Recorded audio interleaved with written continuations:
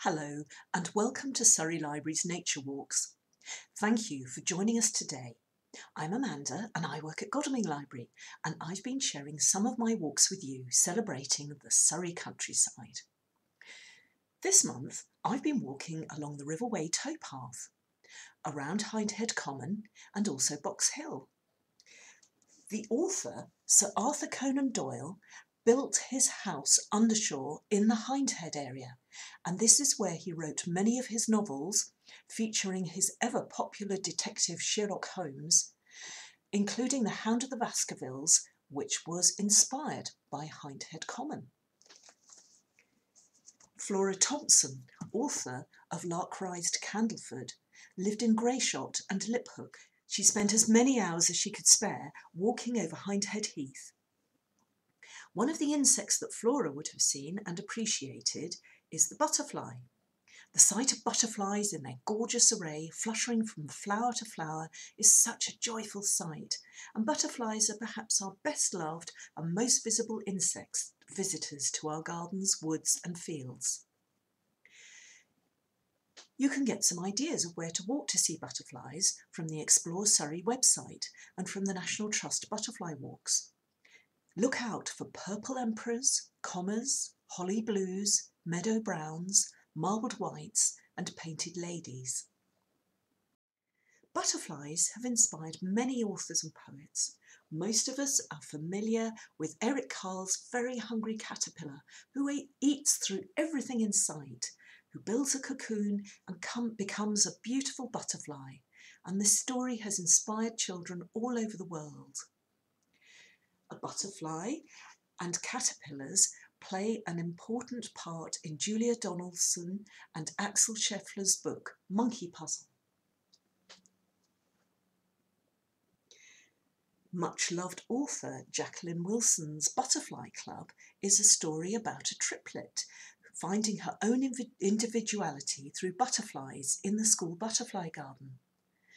I'm sure that many of you have favourite butterfly stories let us know what your favourites are. Spring and summer are crucial times to support butterflies and moths. They need warmth to be active and fly, and they need to drink nectar for energy. If you can provide both, you'll have a butterfly haven. The best way to attract butterflies to your garden, patio or window box is to plant butterfly friendly plants that will provide nectar to adults and food to caterpillars. Flowers like lavender, marigolds and buddleia are ideal.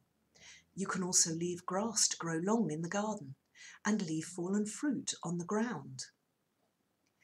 For more ideas on how to provide a good habitat for butterflies, try the Natural History Museum's website. Another way to attract butterflies to an area near you is to make a butterfly feeder. A butterfly feeder is suitable even for small gardens, patios or balconies. Did you know that butterflies taste with their feet? Having taste receptors in their feet helps them find food such as overripe fruit. It also helps female butterflies find a plant that their caterpillars can eat and which makes a good spot to lay their eggs. So today I'm going to show you how to make a butterfly feeder for your garden, balcony or window box.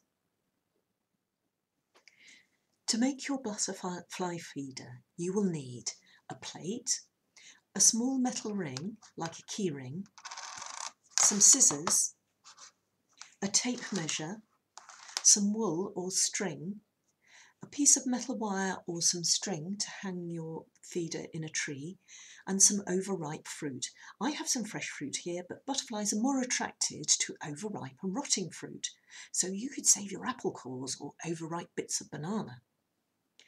So first of all, we're going to make a kind of hammock to hang the plate in. So you want to cut six lengths of wool, each about uh, uh, 2.75 metres long. Uh, you can use string, but I've chosen wool for the differing bright colours. So when you've measured out your um, six pieces of wool, um, you want to fold each one in half and take your metal ring,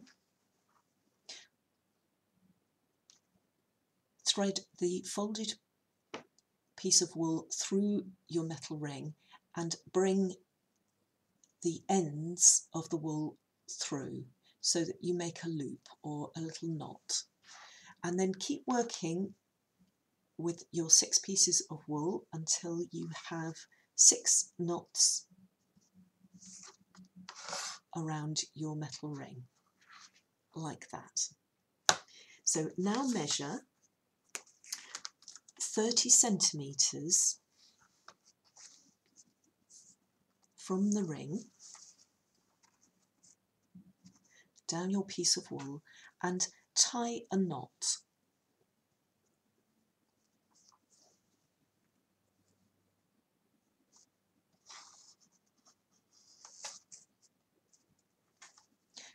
And again, work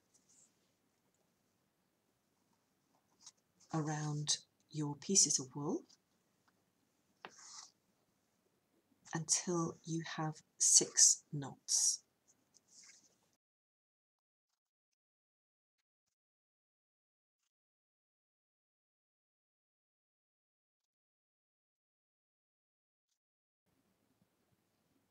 So once you have your six knots, you'll want to measure 20 centimetres from that knot to the next one. Uh, separate out the outside piece of wool. Measure your 20 centimetres and then join that piece of wool with the next colour along. So you're making another knot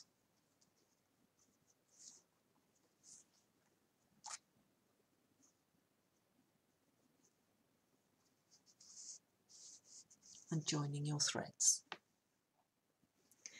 So work your way across until you have five knots measured 20 centimetres from your first knot.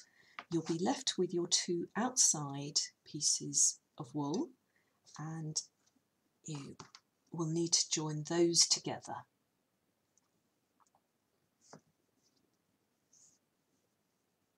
So we'll tie a knot there. So now measure your plate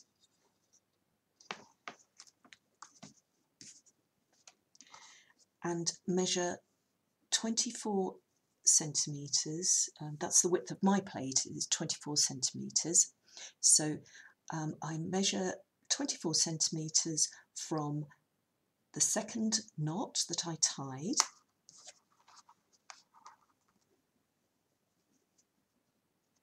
Then I pull all the pieces of wool together and I tie one big knot.